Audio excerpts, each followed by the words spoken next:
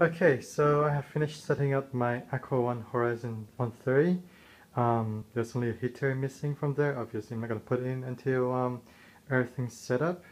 Um, but as you can see, it all looks pretty damn good. Um, yes, the glass is greenish, there's a green tint to it.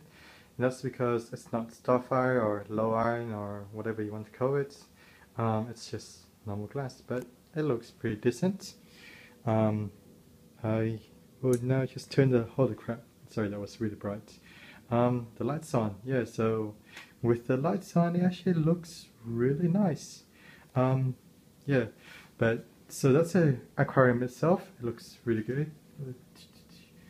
If one just wonder if you can see that, maybe, maybe not. So that's just the aquarium logo. Now the cabinet, though, I do have a few things to say. Oops, sticker. I'll remove that. I'll remove that later. Um, so it wasn't too hard to put together. There was just a few things. Firstly, as you can see, it's not perfect. There's a bit sticking out there, which is a bit annoying.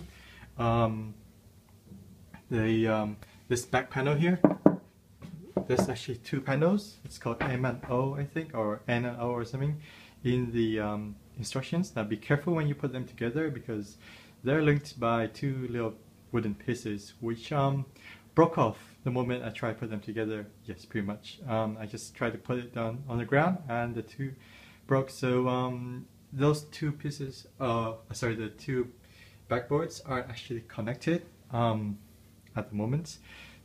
hopefully everything will be fine though because everything else is put together really nicely. Um, I did just realize that it's upside down but uh, whatever. That's just a sticker so I could probably just remove it. Yeah, so there's so it's gone. Obviously um, the instructions aren't very clear as to um, what board goes where either. Um, well, I thought that was supposed to be down, that's supposed to be up, but obviously not. Or at least I didn't put the board in the correct direction. Um, so that's a bit annoying. So on a scale of 1 to IKEA, I would rate this a close enough, but not really.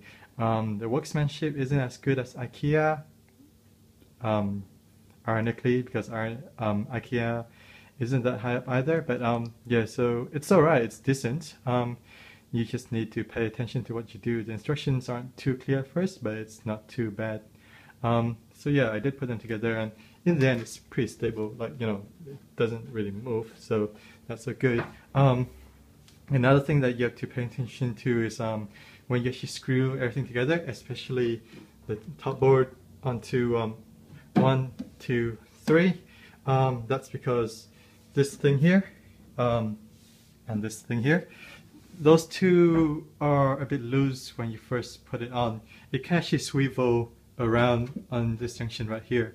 So that's why you have to get it perfectly um, to get the um, to get the I can't remember where it's now the screw to get the screw in perfectly. So um, you just have to tinker with it a little bit. Um, what I did was I lifted this up a little bit and this from the ground, and it's just so that the um, screw when you put it down that way that way, right there, around there, um, it actually matches with the little uh, dent that they put in the um, board. So um, yeah, it's not exactly um, rocket science, but it did take a bit of tinkering to um, get it all perfect. But otherwise, um, it's a nice tank for $380 roughly. It's really good. really, really good actually, because you do get a really nice LED light. Um, filter, a filter um, heater, the heater which I haven't put it in, and of course everything. Now, with the filter specifically, I actually haven't taken anything out of it. It's just a very standard filter. There's some space for other stuff. Uh, um, if you take this out, it's just two little slots, so you take it out. There's actually about that much space to um, put other stuff in. Like Marine Pure or um, Polyfilter, which is a lot better, I reckon. Um, but I'll leave this two in for now because um, once the water comes in, and as you can see, it's not. Um, I did accidentally leave some stuff in, um, and there will be you know stuff from the sand or live rock or whatever that will be coming out. So um, it's good to have a bit of a mechanical filter in there at the moment to um, just capture all of that. Um, obviously, once your water has been running for a while, well, once my tank has been running for a while, anyways, um, I will replace that with something else. Again, like Marine Pure or Polyfilter or both. So um, yeah, that's pretty much the